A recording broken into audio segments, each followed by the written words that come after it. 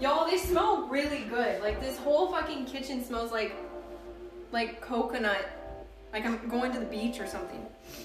Oh god. I really do think that cuz honestly, I have noticed that women really enjoy watching the true crime stuff. I think part of it is because we live our lives constantly on edge in that way and like trying to be aware of the scary things that can happen. So we tend to watch those things. I don't know. Jesus Christ! Why would you scare me like that? We're talking about scary shit! Hold on. Why are you Oh, is there a package? Oh my god, is it your birthday sound?